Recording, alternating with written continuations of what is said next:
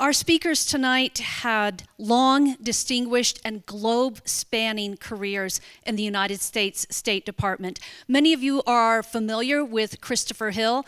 Um, Julie and Christopher Hill, um, the Vail Symposium could have expect no better friends or supporters. They've been involved with us for a number of years. We did a program with Christopher Hill last August, and it was really our honor to bring him back again. He is, as a reminder, uh, was an ambassador to four countries, Macedonia, Poland, South Korea, and Iraq. He was the head of the U.S. delegation to the six-party talks on the North Korea nuclear issue, the dean of the Korbel School of International Affairs. He is currently at Columbia University's School of International Studies and um, International Affairs so we welcome both Ambassador Christopher Hill and we did a program a couple of years ago, some of you may have attended. Ambassador Hill was in conversation with another ambassador, and it was really an excellent program. So we thought, let's try to find another ambassador, and our folks at the World Affairs Council recommended Ambassador Gary Grappo. He was the envoy and head of mission of the Office of the Quartet Representative, the Honorable Tony Blair, in Jerusalem. He also held senior positions at our embassies in Baghdad as well as in Riyadh, and he was our ambassador to Oman. He is currently a distinguished fellow at the Center for Middle East Studies at the Korbel School of International Studies at the University of Denver. We're so honored to have Ambassador Christopher Hill and Ambassador Gary Grappo join us this evening. Please help me welcome them.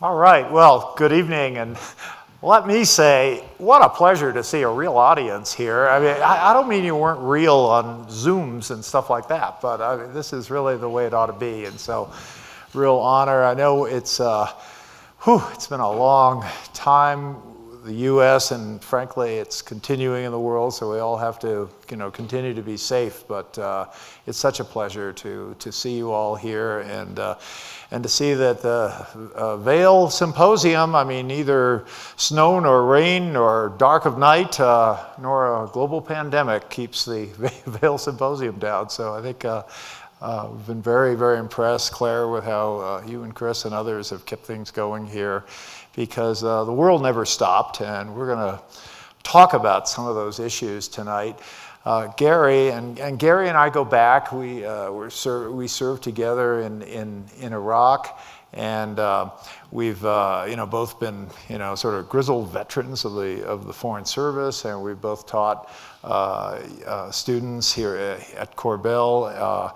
and about you know if you want to make a difference, you know go out there and uh, find a career. There are no home runs in foreign policy. It's usually just a long slog, but I think uh, you know, I think uh, the students have uh, increasingly understood that uh, issues, if they thought things were going to go away and never come back, well, there are a lot of problems that uh, continue out there, and they're not going to uh, find that as they enter careers that they're not that there will be nothing to do. There'll be plenty to do. So I thought we're, we're going to talk about a, uh, um, a bunch of sort of hardy perennials out there. I mean, it would be a terrible night if you couldn't talk about North Korea. I mean, you just want to pick them up and hug them, you know. Uh, so uh, we'll, we'll, talk about that. Uh, Gary, who has just tremendous experience in the Middle East and in other places, we'll talk about Iran, I think, and uh, and we got to talk about our old stomping grounds, uh, Iraq as well. Absolutely. Uh, I think it's important to talk about you know where we're going, where the new administration is going with with NATO allies. We have allies around the world, and I think. Uh, uh, this is an administration that's very dedicated to the proposition that we need friends and allies out there. And so We'll probably talk about where we are there, and then we'll talk, I think, the big issue that for many people is so worrisome, whether left or right. I mean, it's been, it was certainly true in the Trump administration, it's true in the Biden administration, is the question of China and whether China and whether our relationship uh, with China. So, uh, uh, and of course, Vladimir Putin, you know, yeah, he's always good for some. Uh, Another huggable. Yeah, yes, absolutely. So uh, I think, uh, Gary, what do you think? Should we get going? Uh, yeah, let's get going. I also want to just express uh, my thanks for being here and to all of you, certainly to all the sponsors and donors for this great event. Uh, I'm, a, like Chris, a strong believer in um, informing the American citizen. I think events like this go a long way toward doing that. So it's a, a real pleasure and honor to be up here and uh, take a stab at doing that on our behalf. So uh, with that, why don't we dive into some of these great issues? Yeah. Well, um, where would you like to start? Should we start in the Middle East because uh, you know, that's the, remember during the Obama administration, there's a lot of talk. We're going to pivot, we're going to get away from this thing, and we're going to do other things that are more important, more central to our, our interests over time. But there seems to be a sort of thing where you're pulled back from the Middle East. So I wonder if you could maybe talk about uh, another old uh, hardy perennial, but which is, I think, kind of back in uh, some vogue, and that is the, the uh, Arab Israel issue. Sure. Well, you know. Uh, and tell us what a quartet is, too. Oh, yeah. I'll, I'll, cover that. Yeah. Uh, the, I often describe um, the Middle East as America's Hotel California. Uh, I tried to check out six times, and there I was with Chris in Baghdad. And then when I thought I was done there, I got sucked into Jerusalem. And when I went to first call on Tony Blair, it was just before the UN General Assembly, and he said, "You just got out of Baghdad, right?" yes, I did. He said, "And you're going to take on the Israelis and the Palestinians." Uh, but um, this is probably not an area of the, uh, uh, of the world where the United States can walk away from, uh, despite um, a lot of public sentiment that it's probably about time that we do. Uh, we have too many interests, too many friends, and too many alliances. Uh, and so, uh, for better or worse, um, we're going to be there. Not in the same way we have been in the past. at some point, I think, and Chris would probably uh, uh, agree with this, uh, we moved away from the focus on addressing the region's many, many problems using diplomacy, occasionally with a military force, but diplomacy to uh, an overemphasis on the use of our armed forces. And ultimately, at least in my own view, it has created this um, sense of the militarization of U.S. foreign policy. And um, um, so much of the attention in Washington is given to uh, the armed forces and their ability to affect change or not, um, and less and less toward diplomacy. And it's diplomacy uh, that really can, can, is, is the only solution to the, man, the manifold problems of the Middle East today. And the Israeli Palestinian issue uh, is probably the most indicative of that uh, I, I, know that this administration would like to uh, diminish uh, the focus on the Israeli-Palestinian problem simply because uh, the conditions are nowhere near what they would need to be on either side in order, for get, uh, in order to get the two sides into a room and discuss constructively what needs to be done. Well, let me ask. I mean, the Trump administration took an approach that said, okay, these this does look like an intractable issue, but let's let's try to establish diplomatic relations among Arab states with Israel, and could this calm the situation down, and could it lead to eventual solutions? So they. They, they were not successful with some of the central players in the Middle East, but they were successful with Sudan, uh, they were successful with Morocco. They were successful in United Arab Emirates. So I guess the question I, I would ask you as someone who has followed these things, uh, is this is this something worth pursuing from the Biden administration? That is, look at diplomatic relations, try to get the Saudis into this, try to get others, more central players into it, and somehow this will lead to some, uh, you know, lessening of tensions toward a solution or something. Uh, the short answer is yes. There, um, and the United States has always wanted to see uh, normalization of Arab-Israeli ties. We really haven't given its due, And I think when the Trump administration saw uh, that it, it, simply couldn't get out of the dugout, much less to first base on bringing uh, any kind of a solution to the Israeli Palestinian problem, uh, they started pushing on what now has become an open door.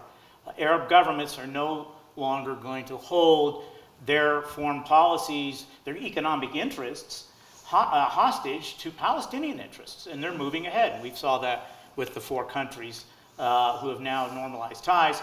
I, I, um, I have some reservations about Morocco and the trade-off that was involved there. We basically gave away uh, Western Sahara uh, in, uh, in, contradiction to standing U.S. policy. And UN policy. And I mean, UN every policy. country in the world was saying the Western Sahara should await an overall. Uh, exactly. And we solution. sold out um, the 700,000 uh, people of the Western Sahara. And similarly, in the case of uh, Sudan, you have a transitional government in place right now. They just dispo- uh, deposed. Um, uh, this dictator who, is, who was convicted in the uh, International Criminal Court in The Hague for multiple human rights violations.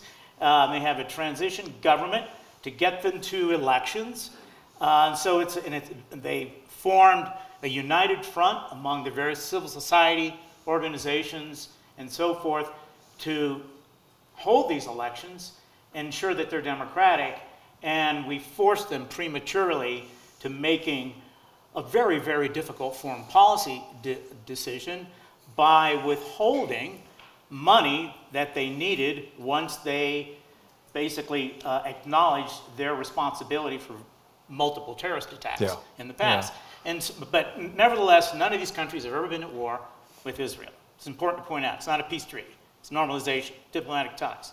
Uh, and I think the Biden administration is going to move forward uh, aggressively as well. There are another a few other potential candidates out there. And I mean, as someone who's really dealt with this, uh, you know, day by day, we have Bibi Netanyahu probably not coming back, although I don't know that. But so, how does that, how does the switch from Netanyahu to Bennett affect Israel's willingness to work these issues?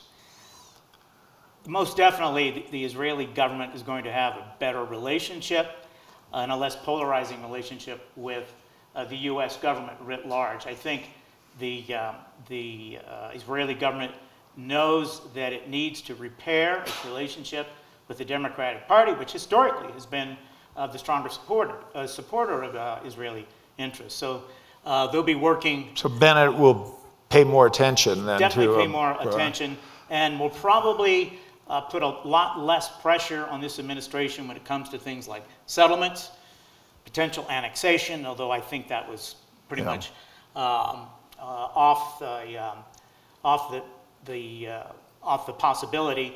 So I don't think um, we're going to see a lot of uh, movement. It's more or less repair work and looking at some of the internal work that needs to be done both within Israel and within um, uh, Palestinian territories. I will finally add that uh, what sort of threw the administration off was once again, and depending on how you count, it would be either the sixth or the ninth eruption of a war between Gaza and Israel. And uh, sadly, it's probably not the last.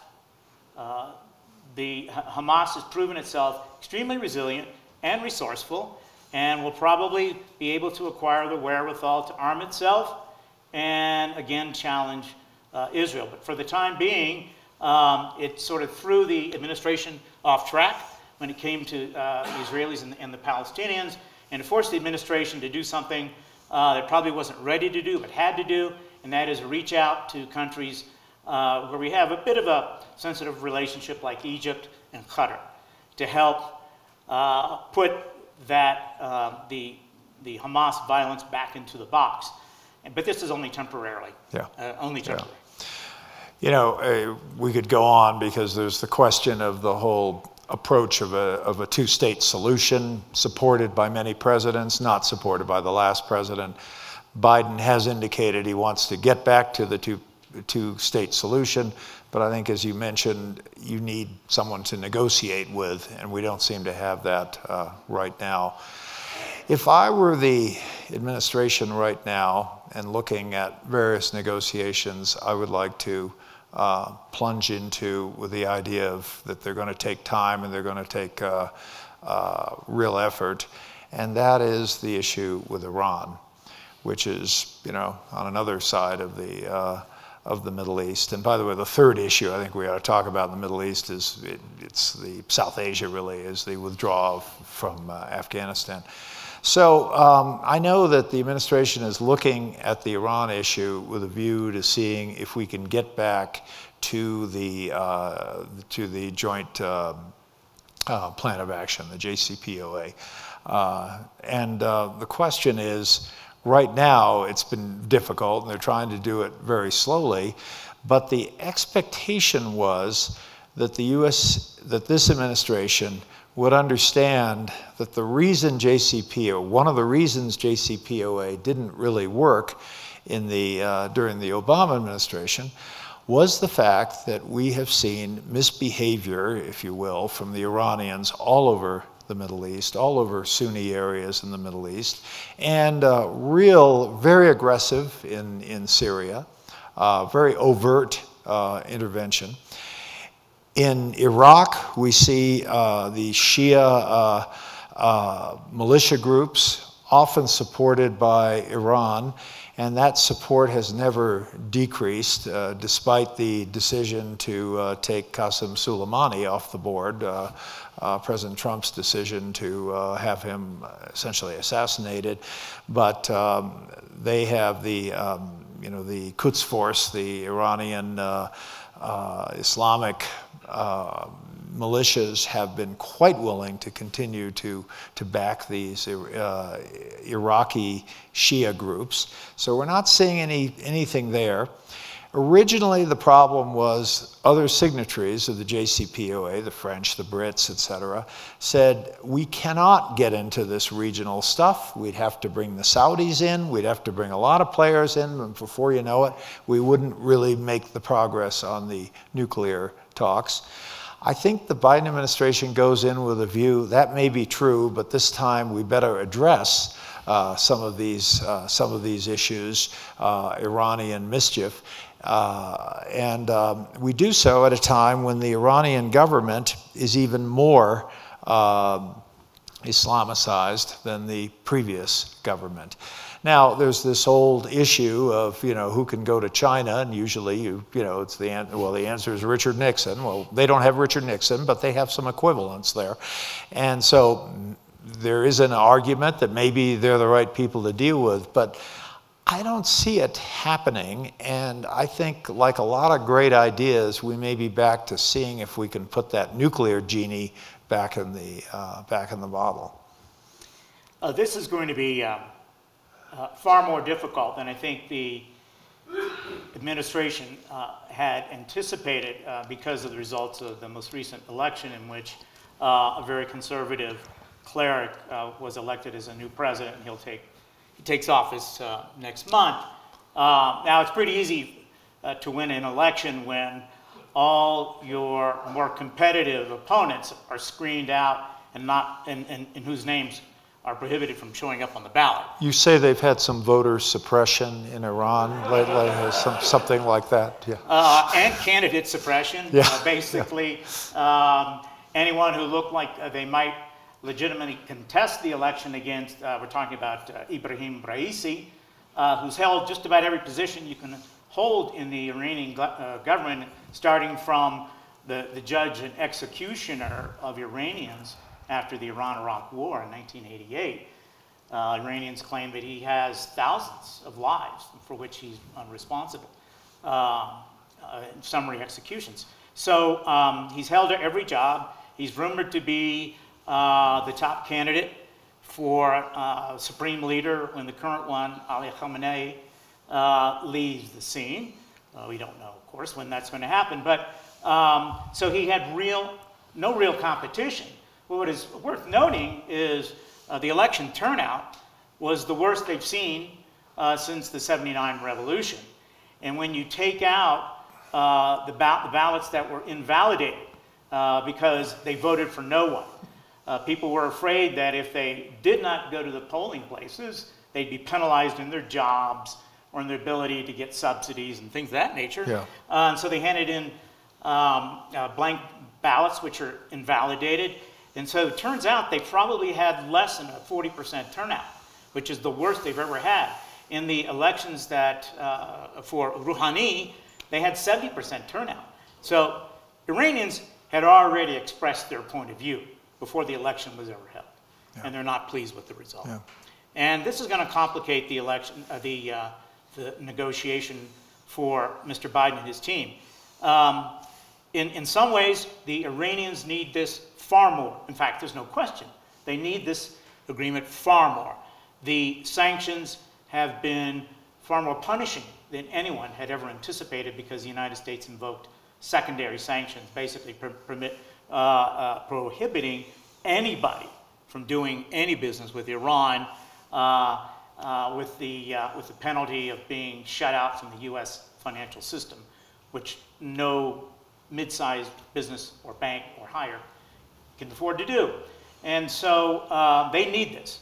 But I think Mr. Biden has a taller task here because he not only has to sell a persuasive deal to our P5 plus one negotiating allies, that's France, Britain, Germany, China, and Russia, and the EU.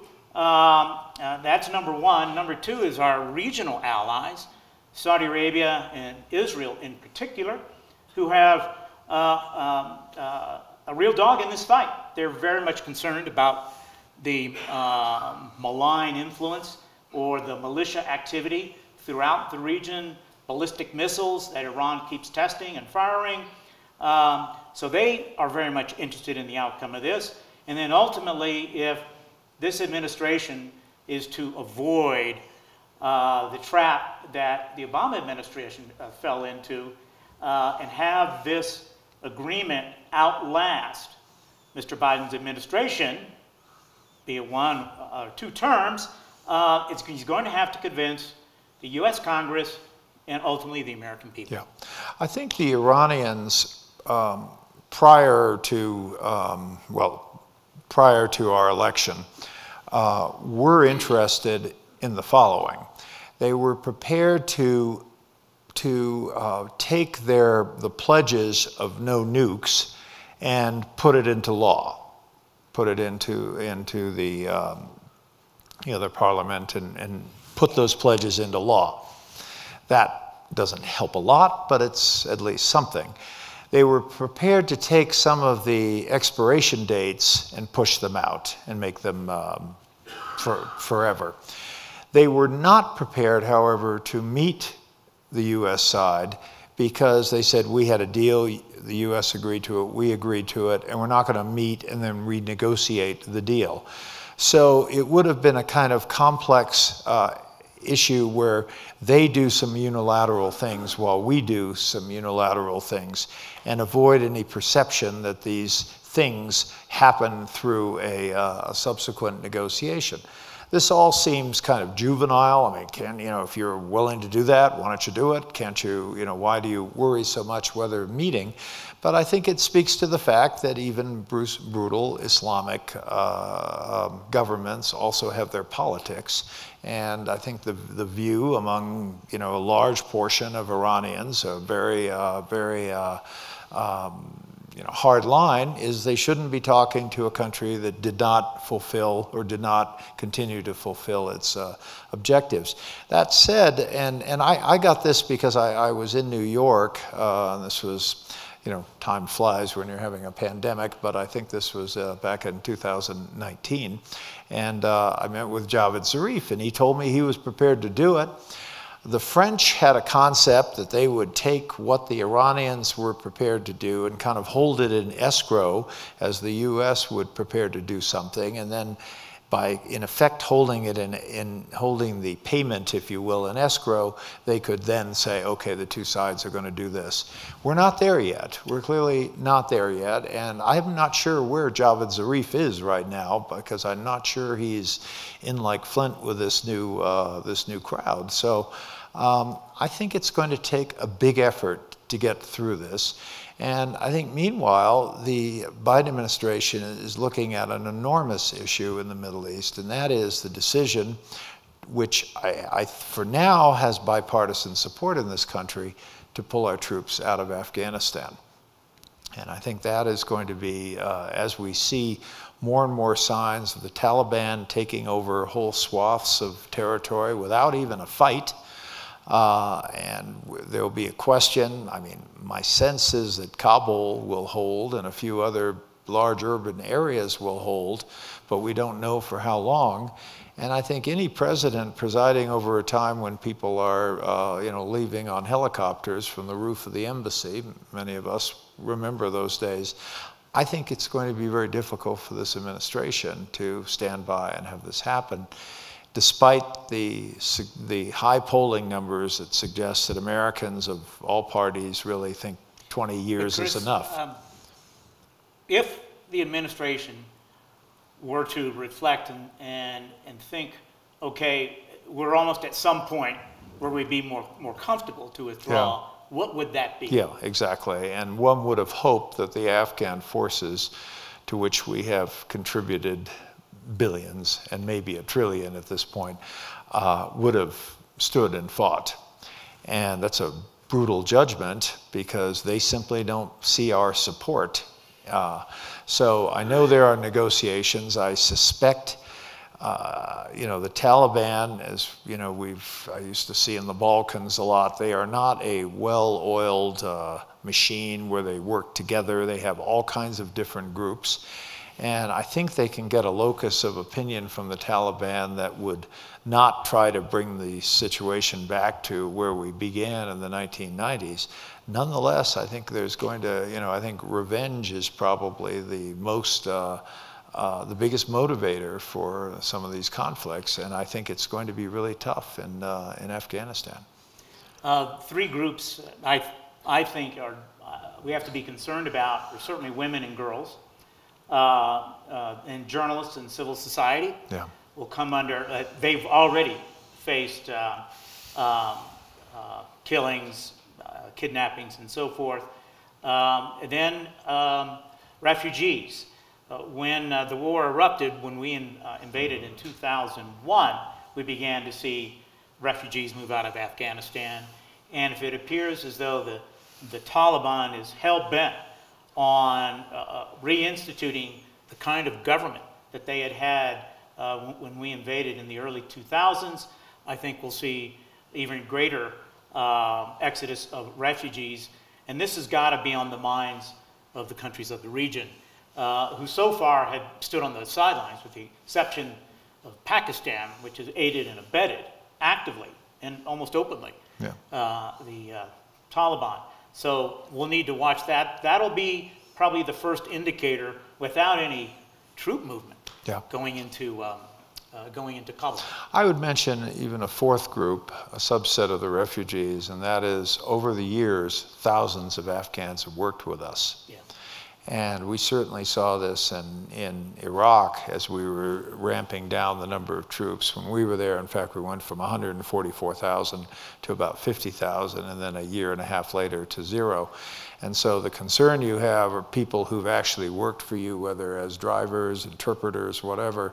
This is real human stuff because you know these people and you know they have families and they're, uh, they have extended families and it behooves you to do something about it.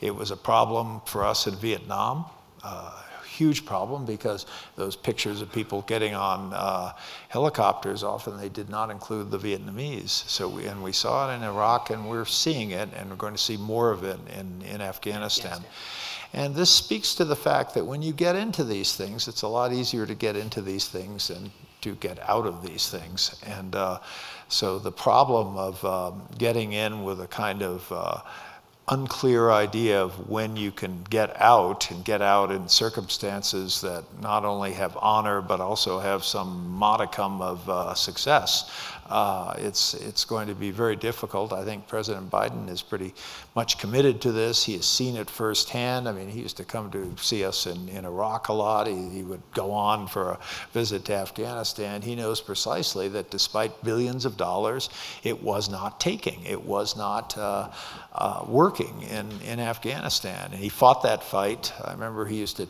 tell us about it because he'd come out of meetings in Washington and he would be arguing with uh, the generals uh, who would say, We need more time, we just need a little more time. And he said, You know, it's not going to work. That was in 2010. That was in 2010, yeah. And so I think he's, he's made a decision no, I'm not going to throw uh, good after bad, and we're going to do something about this. But it's not going to be pleasant as these months uh, peel by. I think in the end, he, he, he made uh, a very, very difficult uh, decision. I don't know any person who would not be conflicted yeah. now with what we face there. But that uh, what more could the United States do in the next year or two years or five years that we have not done in the last 20. Yeah. And we had just reached that point. Uh, just like Alexander the Great, the British, and the Russians. Uh, and, and, we, and we're leaving. Uh, but Chris, uh, we, we touched on the nuclear issue yeah. on Iran. Uh, let's move over to uh, your favorite person in the whole wide world, who is now down from uh, a hefty 300 to 240 pounds, really looking trim. Actually, he was 340, and he's down to 300. Oh, really? Yeah. So he's got a ways to go. He's, I, he's, still in the super heavyweight class. Yes, yeah. Kim Jong un is a, uh, you know, when he came up, I remember there was a lot of, first of all, uh, his father, uh, Kim Jong il, who had been groomed for leadership in turn by his father, Kim Il sung. Kim Il sung used to take Kim Jong il around, and, and people kind of got the impression that this very uh, not ready for prime time player was going to take over. And people kind of knew it. But when um, Kim Jong il um, became Kim Jong very ill at a certain point, and uh, um, I mean, it was, we, we knew, we were talking, and this was the summer of 08, and uh, we started, we, we realized we weren't getting answers, and we knew that something had happened, and then the rumors of a very serious uh, stroke. And, you know, uh, our, our docs in the CIA and elsewhere, you know, it's hard to look at a person on television and kind of do a accurate uh, um, you know, diagnosis, but they were saying this isn't going to go on for long. They, they, were, they were pretty confident that he was in some trouble. She still didn't bring Kim Jong un out and sort of show that he had a succession. So along comes this uh, Kim Jong un who, uh, um, at first, you know, uh, there was, first of all, the, the thought that, well, maybe he's a reformer because after all, he's gone to school in Switzerland. And um, but he was a day student. They'd drop him off and, and uh, pick him up at night. So, you know, who knows? Uh, and, uh, but there was a lot of talk about whether he was a, uh, he was going to be uh, a reformer or not. I talked to a Korean friend of mine in his late, now he's in his late 80s, he was in his late 70s at the time, and I, I uh, said, uh, song, his name was uh, um, Mike, uh, Mike Son. And I said, What do you think? he takes a paper out, he points at the face of Kim Jong un, and he says, Just tell me, do you think this looks like a reformer to you? and uh, and he was right, because the first thing we saw were a round of, uh, round of uh, executions, uh, very brutal. I mean, really even brutal for North Korean terms. I mean, this was happening pretty early on. He would, people would be summoned to these executions. The victims were, you know, killed with an anti-aircraft round through their chest, and there wasn't much left of them. I mean, this was a brutal guy. Um, and then we could see that the economy was going badly. And uh, that's when he started to say things that some people interpreted as meaning reform. That is, uh, we should not ask our people to tighten their belts anymore. Uh, he certainly wasn't at the time. Uh, and, uh, and so I'm sorry, all those awful jokes, but I mean, he's just a terrible person. I, I can't resist. Uh, so it's okay. yes, sorry about that. but anyway, So uh, there was a thought, well, maybe, maybe something could be done. Maybe there could be some approach. The Obama administration, very wary, weary, frankly, of doing that, found that when they tried something, it just didn't work. Even low stakes, it didn't work.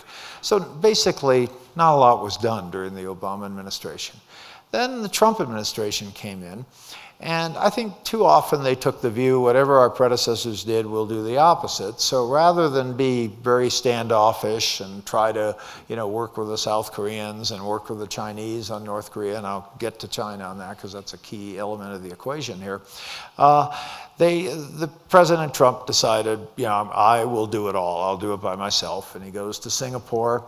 It's a summit that was poorly, poorly prepared. And you know, when, you, when two presidents you know, any politician at that level, you don't have to be a North Korean or you don't have to be an American, but any president at anyone at that level skates on a very thin fact base. And so you better have things kind of tied down in various agreements that they've been over and they know what's going to happen. They had this meeting in Singapore. Nothing really happened. There was some indication the North Koreans were pursuing it, but as someone had listened to them before, I knew this, we were nowhere on this. Later on, they went to Hanoi, uh, and there was some hope in Hanoi because the North Koreans said, we'll get rid of our main nuclear reactor at Yongbyon. And, uh, you know, I, I mean, as a, as a negotiator, I hate to criticize people from 10,000 miles away. I don't know the details, but all I know is we rejected it and left within a few hours. I mean, I would have gotten, I would have said, you want to, you're getting rid of all of Yongbyon. Uh, and I, I, would have said, okay, let's unfurl a, uh, you know, uh, big map of Yongbyon and tell us what you're doing with building one and tell us what you're doing with building two and because there are about 98 buildings on them. And i would have tried to get some sense of you know well we're putting we're getting rid of that one we're going to keep that because that's where we do i don't know uh, you know we have cows and milk or something there. And you know it, what it just get some intel out of this. And I think one of the big problems with the Trump administration is when you don't know details, you often don't know the things you really want. They're not necessarily the things you're asking for publicly, but we needed people on the ground to understand these things. Never got anywhere. So uh, to make a long story short, in comes the Biden administration. Meanwhile, North Korea clearly has intercontinental ballistic missiles. They are way ahead of the Iranians. I mean, the Iranians are nowhere close to the North Koreans, and that's one thing people need to understand. Iran, has not developed nuclear weapons. They've certainly never tested them. They've never come close to try to miniaturize uh, uh, designs to put them on a missile. They, they're, they're just nowhere close to the North Koreans. The North Koreans have done all of this stuff. So I think the, the Biden administration looked at it and basically had a kind of uh, let's tread water on this for a while and let's try to see what we can do on Iran, which I think it will be the effort on denuclearization. Iran is not nearly as far, and maybe they could patch up JCPOA. I mean, Tom Cotton and Lindsey Graham will never be happy, but uh, uh, maybe they can do, maybe they can get something done, and then if there's any momentum from that, they can turn back to the North Korean question. I think the problem with the North Korean question as pursued by uh, the Trump administration was unilateralism. It was all about us. And so half the world says, well, the US isn't really doing enough, when frankly, I think the Chinese had to be at the table, the South Koreans, the Japanese, et cetera, even the Russians. And so uh, I would hope that with respect to this icy relationship we have with China right now, and an icy relationship that I uh, must say is very much part of what China's been doing, and uh, we can talk a lot about what China's been doing, but they are, there's a sea change in the way people view China in the region. Um, and so I think if we can at least try to find uh, some patterns of cooperation, try to find some areas rather than stare at the Chinese like we're having, you know, some kind of uh, unsuccessful marriage counseling, but rather, you know, look at some aspects of things that we can work with them on. I mean, after all, the Chinese are one of the five nuclear states in the Non-Proliferation Treaty. They have no interest in North Korea having nuclear uh, capabilities. So I think at least we should start talking with them and having a serious and continuing, because I think the, uh, the Trump administration did some of it and the Biden administration is continuing to do it with the South Koreans. And I, I think there could be some so Chris, way what, forward. Uh, we've seen a real change in the way the Chinese look at not only themselves, but their role in the world. They've become far more assertive, even aggressively. Yeah. So over the last um, five, six years. What accounts for this change? And, and what is it the Chinese are after? Yeah, I think um, what accounts for it is, uh, I think, their, uh, the fact that their political system is failing. Uh, their economy is not failing. And anyone who counts out China economically, I mean, these are people who know how to make stuff. And uh, I think they're doing fine, but I think to a great extent they've done it in spite of their political system. So they make a virtue of their political system and try to claim that this political system, which is deeply flawed, is somehow part and parcel of why they've had a successful economy. So they start selling a model. And the model is based on the idea that authoritarianism works and, uh, and this is why they have a successful economy. We have, I think, spent too much time telling the world why the Chinese model is wrong, and by the way, it is wrong, and not enough time fixing our model to suggest that our model is a better model. There is nothing more powerful than the powerful than, a, than the example that you can uh, that you can propose. So instead, we have, uh, I think, too often talked about, you know, all the, all the failures they have, and needless to say, the Chinese have kind of reacted poorly to that. Uh, that said, I must say, uh, China has uh, uh, not only touted what to me is a deeply flawed model, but they've also, I think, been rather rough on some of their neighbors. Uh, when I, on my watch, uh, the Vietnamese were very unhappy with the Chinese. I mean, the Chinese used to tell American firms, you want to work on oil, our oil section, or sector or the Vietnamese oil sector, and if you're going to work with the Vietnamese, we don't want you, we'll get someone else to work with us. And those pretty tough words, and the Vietnamese complained to me personally about it. And I said to the Vietnamese, oh, you know, I mean, outrageous, I mean, et cetera. I, I, had a lot of sympathy, but how can we help? How, and they said, you know, you really can't. We, uh, we know you can't really help, but we want you to be aware of this. So it was kind of a, it's we're a telling, old yeah, uh, yeah, centuries, yeah. So they're, they're basically saying, look, Americans, we, we just want you to know, and you know, stay close, but we're not asking. If you go see a Vietnamese today, I mean, they have their arms wrapped around your, uh, your pant leg as you're trying to get out of the office now. I mean, they have really a great concern about Chinese behavior. And uh, I think the Chinese need to look in the mirror and decide whether this is the relationship they want. Uh, to be sure, uh, one should respect history. And the history of Chinese neighbors is a history of tributary states. And I don't think they're quite willing to accept those states as sovereign equals. I mean, even in Europe, which has had a lot more uh, experience with sovereign equal, equals, they've had a tough time too. I mean, you should see what the, you know, I used to talk to the Poles about when they first come to the, uh, the uh, European Union, you know, everyone's the same, and they would escort the Poles down to the you know left of the salt and pepper shakers, and the Poles said, wait, wait we, we want to sit in the middle of the table. And, and so there's pecking orders everywhere. But I'm saying I think it's very serious in, in, in China. How we handle this, we need to be calm, and calmness is a good idea. Uh, we need to listen as much as we're talking, and certainly avoid the shouting. Uh, but we also need to work on our, on our example because I think that will help help where we are.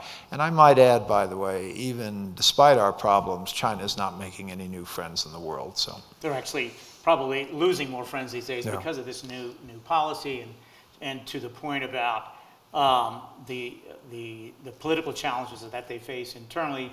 Uh, it, Hong Kong is a really good example of, I think, the fundamental nature of human beings who um, will do everything they can, despite whatever constraints, to exercise maximum individual freedom. And the people of Hong Kong did that to the extent that they could uh, before uh, basically the, the Chinese government came down on them with both Yeah, feet. yeah. Uh, and it's a good end, and, and the fear was that uh, if this movement within Hong Kong would begin to snowball, they might be seeing it elsewhere in China, and then they've got real problems. I think where we need to be calm, I mean, where we need to be careful is in Taiwan, Taiwan. Because the situation there, we have had a policy going back to a Kissinger, to Henry Kissinger and to a Kissingerian phrase, which was creative ambiguity. No one really knew what we would do if the Chinese pushed on, uh, on Taiwan. And there is a view, and you hear it a lot in, in recent years, that creative ambiguity has deteriorated and that the Chinese have reason to believe that we would not come to the uh, rescue of Taiwan. Um, and so the antidote to this was let's increase the notion that maybe we would. The trouble with that, and it's, I, I, understand it, you're trying to reestablish this ambiguity. So right now people think, ah, no, they're not going to ever help. So therefore we have to suggest that maybe we would, and then you get back to equilibrium on this ambiguity. The problem is you have, when you look at issues like that, you have to ask yourself, who controls the escalation? Uh, who, you know, if, if they do this, we do that, they do that, we do this again? Do we do something else? And so you have to, uh, I mean, not to uh, trivialize it with chess or something, you better know what comes at the end of this. And if you don't feel that you have the uh, control the escalation, that ultimately the other side will say, well, ultimately they'll do this and we don't want to get involved in that, therefore we're going to stop. Uh, that is the issue. And, and I think we've got to be real careful. And I am not satisfied that we have enough of an understanding of how the Chinese leadership, I'm not just talking about Xi Jinping, but there's a whole leadership there. They've abandoned a whole succession system, and you have to ask yourself why, because the succession system was kind of working out. So why did they do that? And so you have to worry how, as a polity, how as a, as a regime, would they react to being pushed a little on Taiwan. We're already seeing rather vicious looking overflights by, uh, by strike aircraft in, uh, in Taiwan. And uh, we're seeing uh, an extraordinary capacity to build up a military which seems to go beyond China's needs in, in its littoral. So uh, I think China is a very serious problem, but we really need to think it through and think through how we're going to work with them and what's the role of military cooperation, what's the role of, uh, of economic uh, um, support because the Trump administration essentially ignored international things like the World Trade Organization and various uh, remedies you could use for, you know, when one country dumps products on another country. So we need to kind of leverage our position uh, and look at international organizations, look at good allies, and look at other ways that China will understand that if they try to control the escalation, they will do so in a way that makes them isolated. I think, however, and I'll, I'll stop because I know I've been riffing on too much about China, but uh, the Trump administration started this uh, actually, it was started during the Obama administration. The Trump administration picked it up. The uh, Biden administration continues it. And that is that those of us who went to elementary school and had to learn what, what are the world's oceans, we'd see, well, there's an Indian Ocean, there's a Pacific Ocean, they seem to be separate oceans, there's an Atlantic. Well, now we talk about the Indo-Pacific. And what are we doing with that? Uh, are we changing our elementary school geography class? Or are we doing something else? Are we saying that somehow against a thousand years of history, we can bring India into the equation in Pacific and that somehow this will create an encircling feeling that the Chinese might have. And they might think, gosh, you know, if India's there, they're big, and then you've got the US and Japan, and we better start behaving ourselves a little better. You know, I understand it, but that's usually not how countries react to encirclement. And, uh, and uh, if you go back to the, um, to the Shanghai Accords, I think one of the great events. Why is it one of the great events? Because it essentially ended the Soviet Union. You, 1972 was when Soviet foreign policy essentially collapsed. And what had happened was the Soviets playing games with the Vietnamese, playing games with the Indians, playing games all over, trying to create a kind of encirclement of China. And what did China do? They reached out to us. And uh, the world's never been the same. We need to understand these things. We need to take time, think them through, and understand that uh, China is going to be around for a long time. I think we are too. And I, I, am not one of these declinists. I think our country, I mean, you tell me someone's going to replace us, tell me by, tell me by whom. But we need to think this through because I don't think, uh, you know, uh, I mean, uh, information is not knowledge, and knowledge sure as heck is not wisdom, and we need some of the last category. So, thank you. I think we're probably supposed to get to questions pretty soon. The Q&A here? Uh, we haven't really talked about European allies. Maybe a word or two about our European allies, because I think they're good allies. And uh, they're our best allies. They're our best allies. Well, I like the. I mean, we got Japan and South and, Korea, and yeah. Australia, and so forth. I mean, we'd like Japan and South Korea to work more together. And again, I think it's more leveraging we can do it. It's more subtle. It's not like saying India is a Pacific country. Um, but I think we need South Korea and Japan, who are just so burdened by their history, to try to work through that and, and be a part of uh, you know, Northeast Asia, which exports not uh, instability, but rather you know, electric cars and stuff. So I, I, I think that it has to be an effort of our policy is to try to get those two countries to do better together. And in Europe, I think we need to understand that it cannot be outsourced to the European Union. It cannot be outsourced to European partners. There is a belt of, uh, of uh, autocracies growing there, and we need to take notice and we need to be involved in the solution and not pretend that uh, we have to just you know have the Europeans take take it over. I do believe we need to remain, I think NATO is an absolutely crucial uh, um, organization, but that's the military, and I think we need to be very engaged uh, diplomatically as well, and that is why I was so pleased with, the, uh, with President Biden's trip to Europe. G7.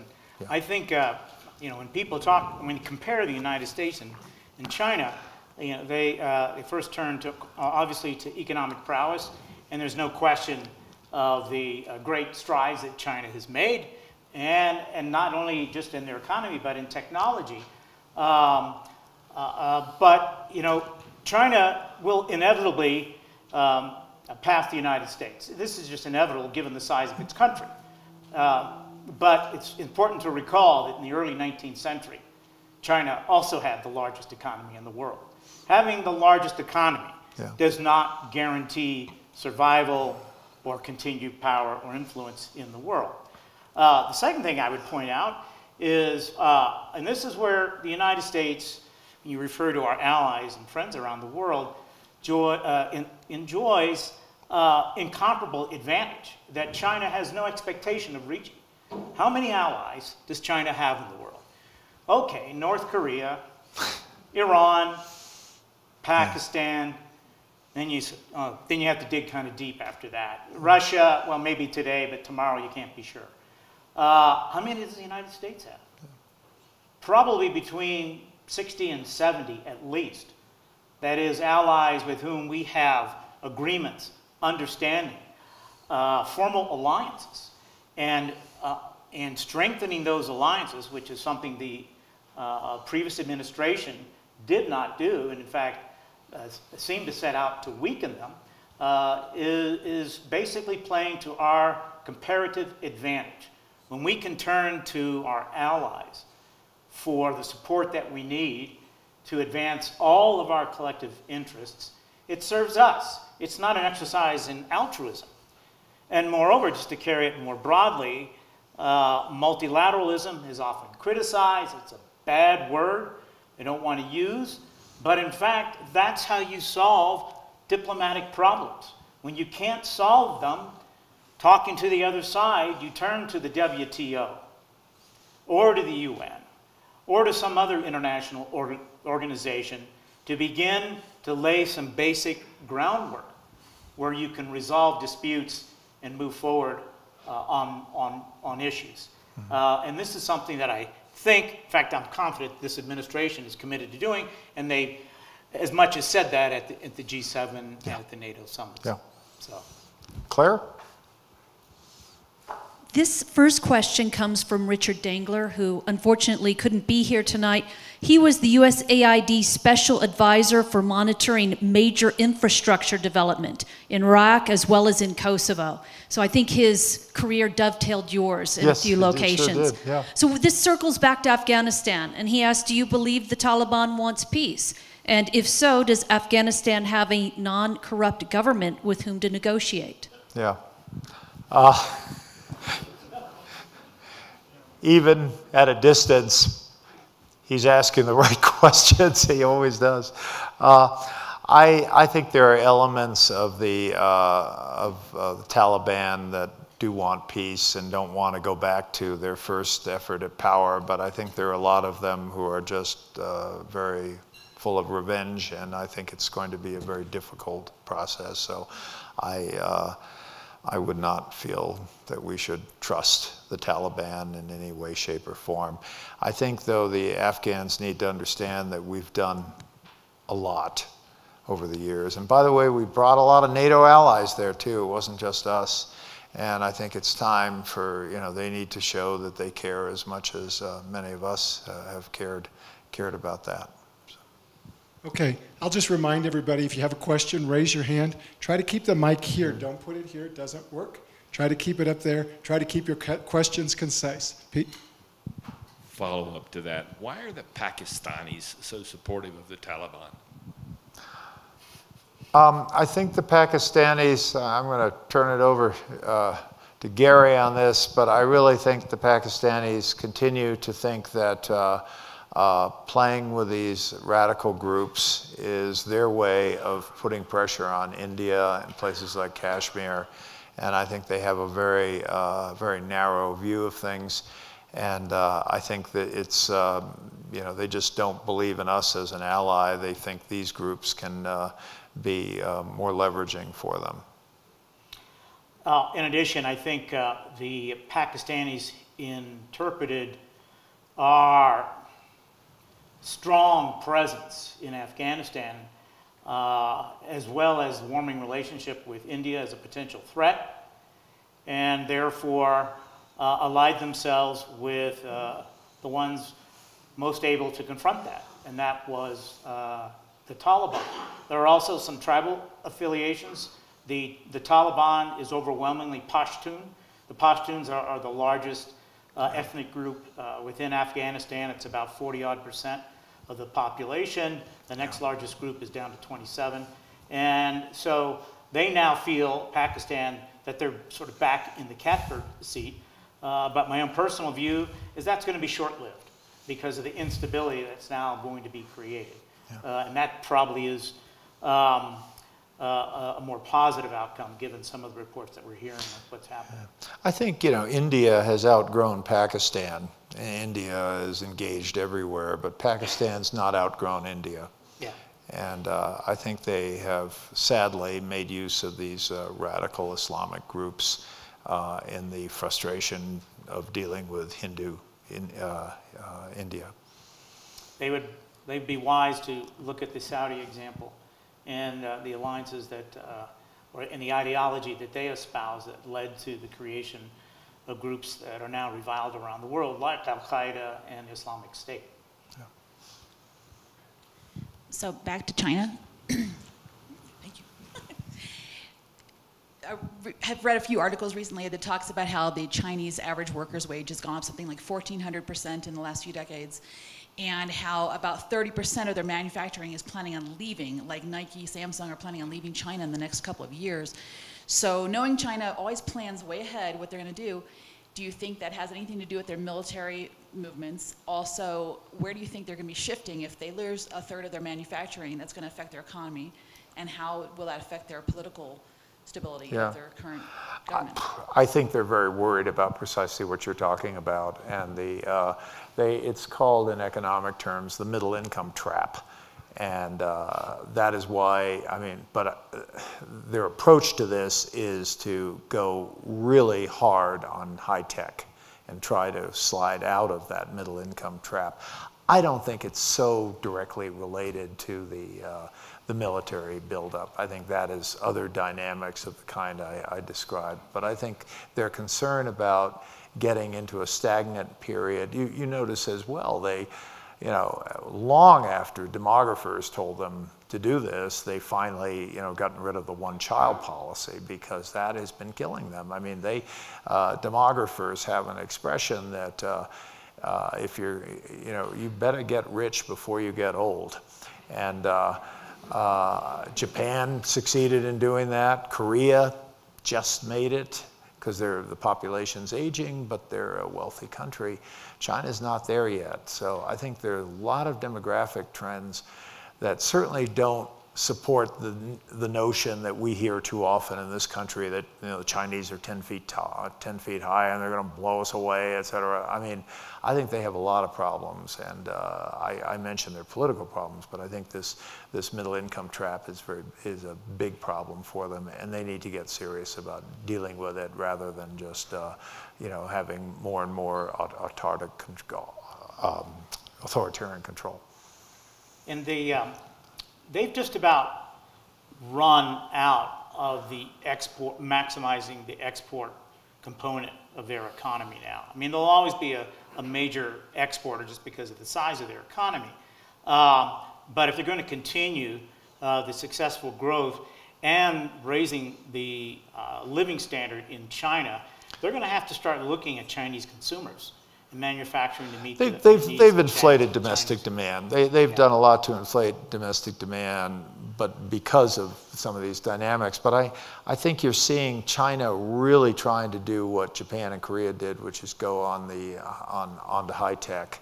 And uh, but when they do it, unlike the Koreans, uh, you know, in Korea, you may have a few Hyundais coming into this into this uh, uh, economy, but in China, I mean, it's much bigger. I mean, what they're doing with uh, trying to uh, develop electric cars, uh, trying to develop solar power. I mean, they, they really are trying to stay ahead of it. They're good manufacturers. They're very good, and we need to respect that. the problem is they haven't played by the, by the rules, and moreover, you know, uh, any economist will tell you bilateral deficits don't matter.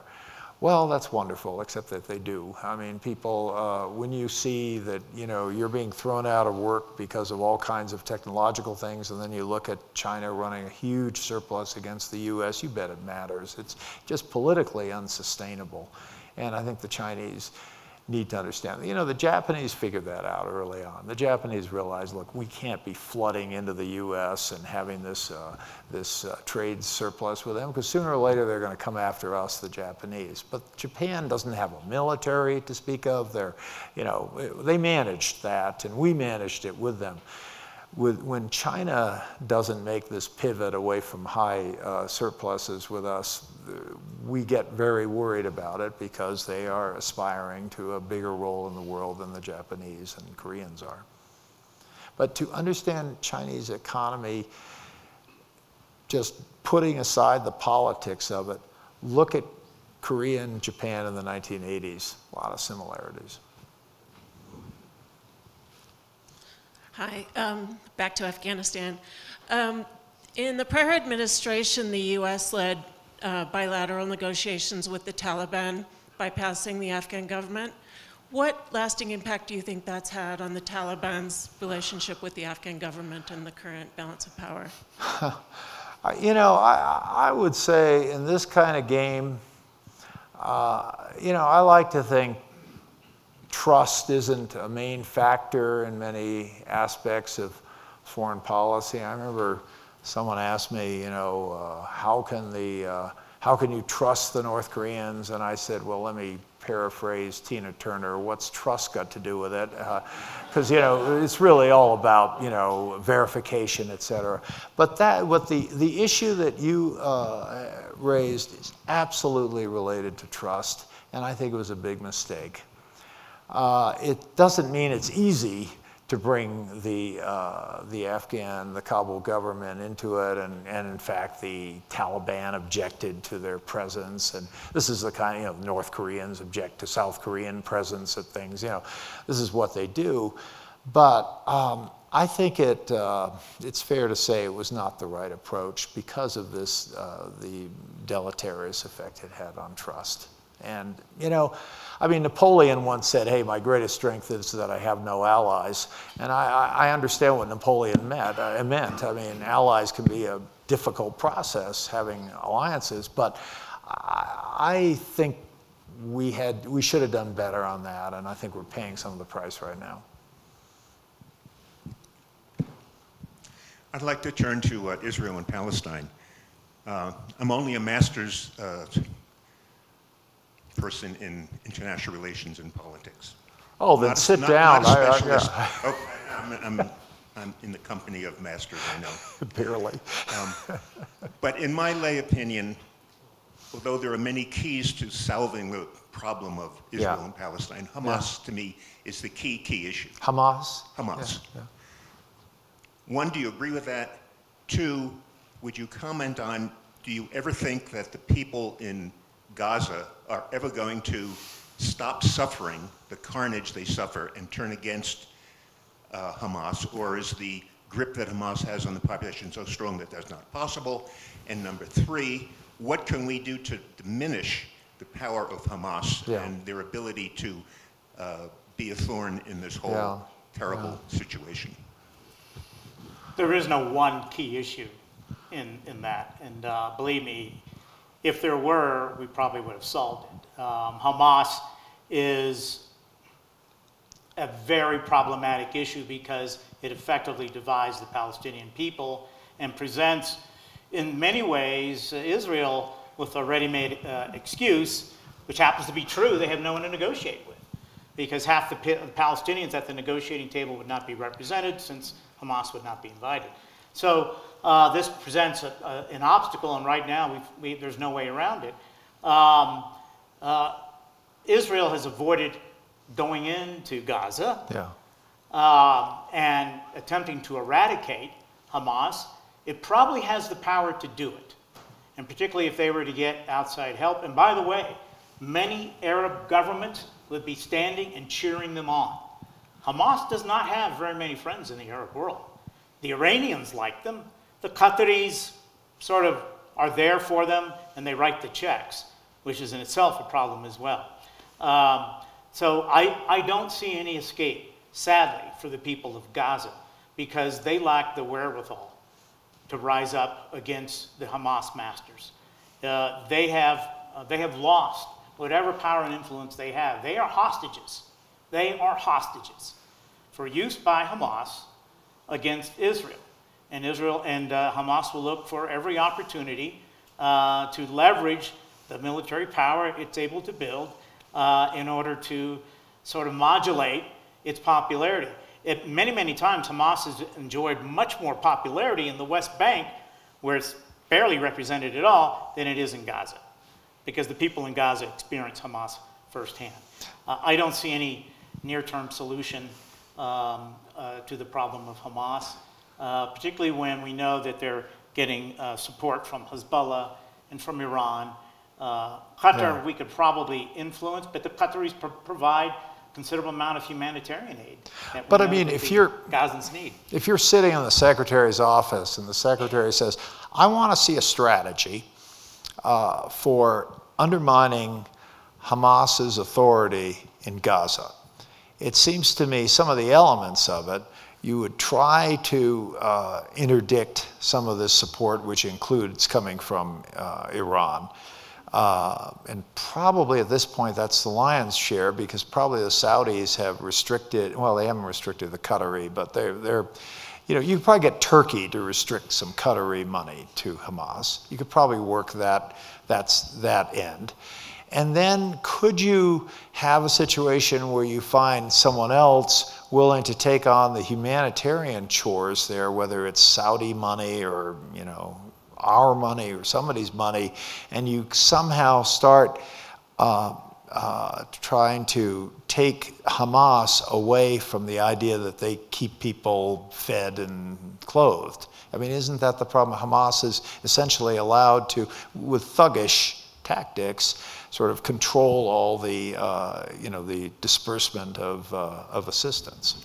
Uh, we've tried, I mean, there is no shortage of countries who are willing to support the people of Gaza, Yeah. including the United States. Yeah. And the, and the United Nations and Saudi Arabia and other countries.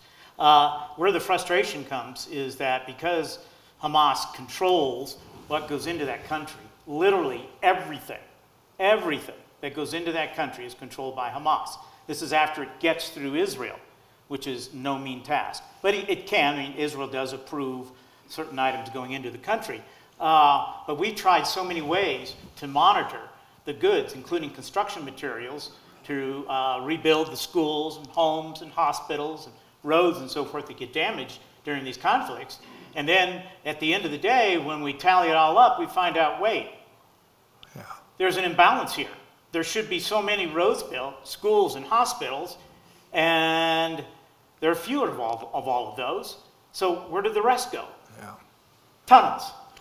Uh, and, and purchasing weapons and so forth because they control the black market.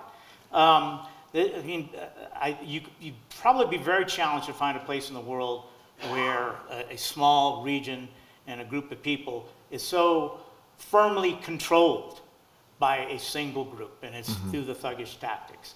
Uh, by the way, there's a bit of thuggery also going on, not nearly the extent it is in Gaza, but in, in the West Bank as well. So with, with Fatah. with, with Fatah Yeah. and, uh, and Abu Mazen, the, the, the president of the Palestinian Authority, uh, now into his 16th year before your term, uh, having, having canceled the elections that were supposed to take place in uh, first May, and then this month, and then next month. So um, there's, a, there is a lot of frustration and angst on the part of the Palestinians, which is why uh, when the last round of violence broke out, we saw the people in Jerusalem out in the streets marching against the Israelis. And that was all held in check for the most part. Uh, both sides did a lot of things that probably were unwise, but given the emotions involved, understandable, uh, until Hamas saw a golden opportunity to leverage those incidents to elevate its own uh, political profile and uh, put Israel uh, on notice that if they did not stop all the things they were doing in Jerusalem, that they would begin to launch rockets. And uh, even before Israel could make a decision, and we know what Israel was going to do, they started launching rockets, including at Jerusalem, which they'd never done before. So um, I think it's just uh, an example of how influential Hamas can be through the pure exercise of power, uh, mostly arm power. Uh, on that uh, Israeli Palestinian topic, uh, isn't there a much more fundamental uh, problem that no one seems to be interested in, and that is the, the honest pursuit of a two state solution? Because that is the only way that both Israel and Palestine will be preserved uh, for their own people. What do you think? Well, you need more than just people who want the peace. Uh, in this case, one that would involve a two-state solution. You need the conditions for it. And the conditions today, certainly among the Palestinians, are simply not there. The Palestinian government, uh, I'm talking about the Palestinian Authority out of Ramallah in the West Bank, uh, has no popular support whatsoever. So there is no way that Abu Mazen is going to enter into any type of negotiation, if he could, with the Israelis, because Palestinian people wouldn't accept it, because they don't, they no longer recognize him as, as the, as the, a, uh, as a legitimate decision maker for the Palestinian people. This is why they took to the streets in, uh, in, in, in Jerusalem. So yes, there are many, many people who want a two-state solution, but I have to say that number is declining in, in, in Israel and most definitely in the Palestinian territories.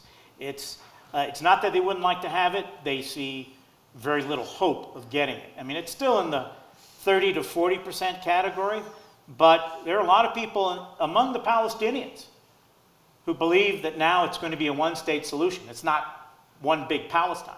Okay, if it's going to be Israel in charge of everything, a one state, a genuine one state solution, then we, the Palestinians, enjoy the same rights as every Jewish Israeli. And that's not something that Israel is going to accept.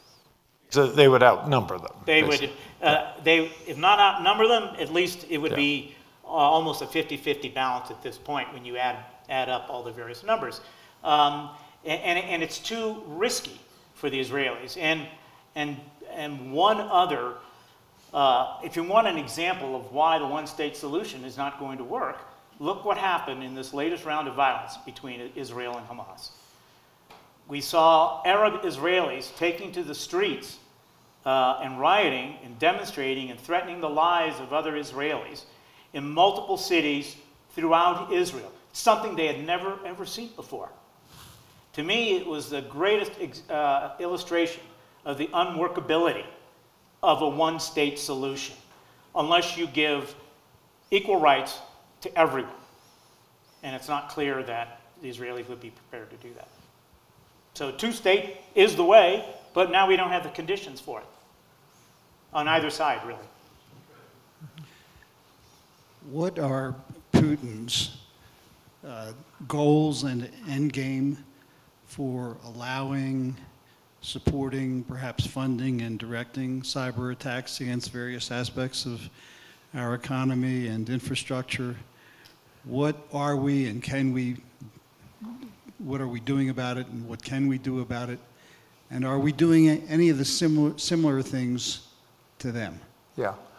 You mean, well, and that's going to take us to the end. yeah, I mean the the country that is, of course, and we all know it, the country that has got the most capabilities um, is is Russia, and uh, I think um, Biden has already put Putin on notice. Uh, it seems to be continuing, uh, although you know Putin may be saying, "I have nothing to do with it," and uh, if it stopped it would look like he sure had something to do with it. Um, that said, uh, I said the country with the most capabilities is Russia. That's not true. The country with the most capabilities is this country, the United States. And um, I think we're in a strong position to demand some rules of the road. Uh, some of the problems, I think, have to do with, you know, the technology is not there to, you know, have a signature of who, who instituted the attack. I mean, if there, if there were a nuclear detonation somewhere, we'd know exactly where it comes from. We know the signature of, uh, uh, we know which, which uh, uh you know, facility in the world this uh, fissile material came from. Haven't, that's not success. We don't have that technology yet in terms of cyber. But I think that will be a big effort to try to be able to identify more clearly where this is coming from. I think uh, coming up with some international rules of the road are, will be essential. But I think ultimately, uh, if we are, if we know where it's coming from, we can certainly uh, make that country regret that it did it. So, um, and sadly, I think that may be the way that this is finally dealt with. Um, you know, uh, there's something, you know, China is a rising power and it does play the long game. You know, it's increasingly problematic in the short game, but it's, it's, it's got some stake in where this world is heading. Russia is a declining power, and as such, I think is a far more dangerous power. And we're seeing this in this sort of these sort of asymmetric uh, weapons such as cyber attacks. We're also seeing this in a kind of weak state structure where you have all kinds of actors out there spread across uh, Russia. So, you know, people talk about, uh, you know, how do we make this a less corrupt world and all of these things. Well, corruption, you know, I know this from the Peace Corps. I had, when I was in the Peace Corps, I had credit unions that had corruption and credit unions that did, didn't. And what was the difference? Uh, it wasn't that the ones with corruption had bad people and the other ones had good people. It had to do with the quality of the institutions, the quality of the financial management, the quality of the cash uh, system. Treasurers didn't touch cash, bookkeepers uh, didn't touch cash, you know, things like that. It's about developing institutions. And we live in a world where everyone is knocking every institution. And when you knock institutions, when you drag them down, you're going to get people taking their own uh, things into their own hands, and that's called corruption, and it's called, uh, uh, you know, governments that are simply out of out of control of their people. So. I think a lot of what needs to be done in this world of ours is to have, uh, is to strengthen these institutions, support them, and stop running them down all the time. Because if you don't have good institutions, you're going to have more corruption, and you're going to have more wayward states like Russia. Chris, your, your point that you made earlier about the second and third order effects uh, of escalation is very much on the minds of, of this administration yeah. when it comes to um, cyber and cyber attacks. There's no question the United States can exact um, devastating attacks on both the Russian and the Chinese economies if we chose to do so. Uh, I have a good friend who worked in the uh, NSA and was not allowed to get into details, but they pretty much have access to all the systems they need in those countries, yeah. including, in the case of Russia, critical infrastructure, which is oil and the flow of oil. We could shut it down. But I, I think, as you said, Chris, that we're very much concerned that if we respond in kind to a cyber attack in that fashion, then Russia does something else. Who's going to control that? And, and then uh, yeah. who starts controlling it? And then Yeah. when does China start getting really nervous and say, when, does the, when, when do the Americans turn to us? Look what they've done to the Russians. And by the way, we're very dependent on that oil. So I, I think this is where, why the administration successfully was able to persuade Putin, let's see if he actually takes action now, doesn't seem so, in, uh, at least in the initial stages, uh, that we start talking about uh, some basic negotiations of putting um, certain sectors off limits when it comes to cyber. There's always going to be, that's always out there. Now, this is going to be a fact of life going forward, just as espionage was. Um, but uh, we, we ought to be able to put some sectors aside. And if, I could just make one point, it's not a major point, but when these things happen, uh, you often have people saying, well, you should declassify the information that you've, you, that you've got. And if you declassify the information, everyone will say, aha, they, they really did it. Thank you for declassifying. It doesn't work that way. First of all, they deny it anyway. And secondly, when you declassify something that you have spent years, capabilities that you've spent years to develop, whether it's HUMINT or, or SIGINT or something, you just declassify it because you want to look good on the evening news, you will put yourself way behind. You, you will be in far worse trouble. So when people say, well, they should just declassify the information that says that the Russians did this, be very weary of that kind of wary of that kind of thing because it is often just nonsense and it doesn't lead to any uh, any solution. So I think we've covered the whole world. Uh, So- you know, uh, well, you know, Left out our good I mean- Canada and Mexico. yeah.